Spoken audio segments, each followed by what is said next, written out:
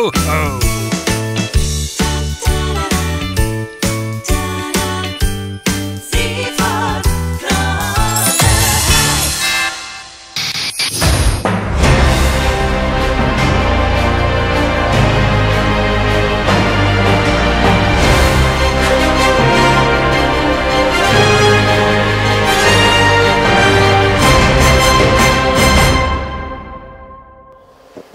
Wij zijn richting kinepraktijk Maarten Kommaert uitgekomen. Waarom? De Belgian Coastwalk staat op het getouw.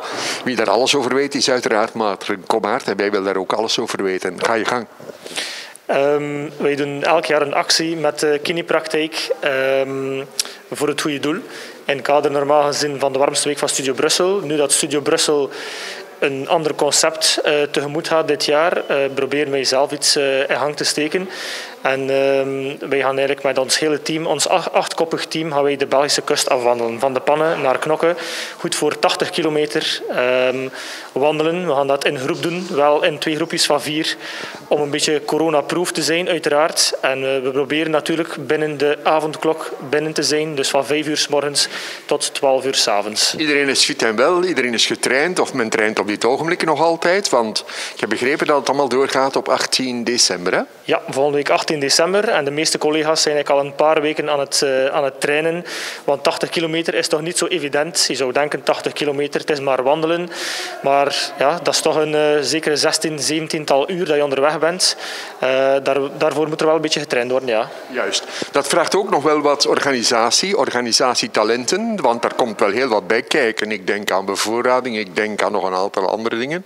Ja, we, zijn dus, uh, we hebben een hotel geboekt in de Pannen om eigenlijk echt om vijf uur te kunnen van start gaan. Want de avondklok gebiedt ons om eigenlijk maar om vijf uur te vertrekken. Dus uh, in de Pannen hebben we een hotelletje uh, geboekt. en dan heb ik een team die klaar staat om ons te bevoorraden. Eigenlijk op vaste punten, na 20, 40, 60 kilometer. Gaat er eigenlijk een team klaarstaan die ons bevoorraadt met ja, drank, eten en, en koekjes en snoepjes. Om eigenlijk ja, er stevig tegenaan te kunnen gaan. Hè. En dat is allemaal al voor elkaar?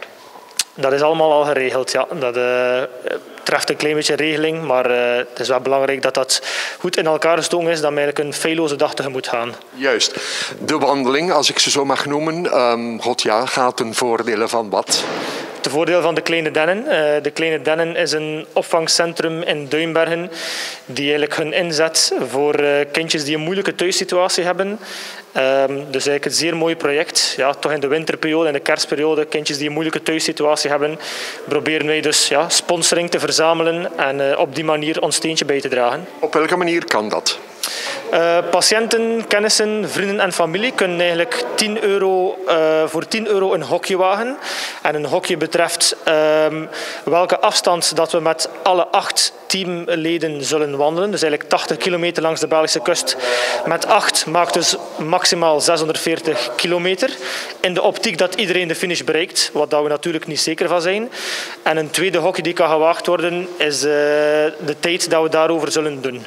Juist, en op welke manier moet dat? Hoe kan dat? Uh, online of hoe gaat dat? Uh, dat kan online. Uh, dat kan eigenlijk via, via de acht teamleden. Kunnen mensen ons berichten sturen of kunnen via het rekeningnummer erop storten. En eigenlijk patiënten, kennissen en vrienden kunnen ook gewoon cash aan ons dat geld overhandigen. En wij, wij brengen dat dan de 18e, als het goed gaat, als we vroeg terug zijn, of de dag nadien naar de Kleine Den. Aankomst is waar, het ligt voor de hand, neem ik aan.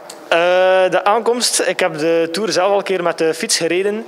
En de aankomst zal ergens in het Zwin zijn. Het is niet zeker of dat het echt aan het konijn zal zijn of iets verder, maar het zal ongeveer in het Zwin zijn. Het is een haas eigenlijk, hè? Ja, het is de haas, ja. Maarten en Hans, uw team, heel veel succes. Wij houden het in de gaten, 18 december, als dat mag.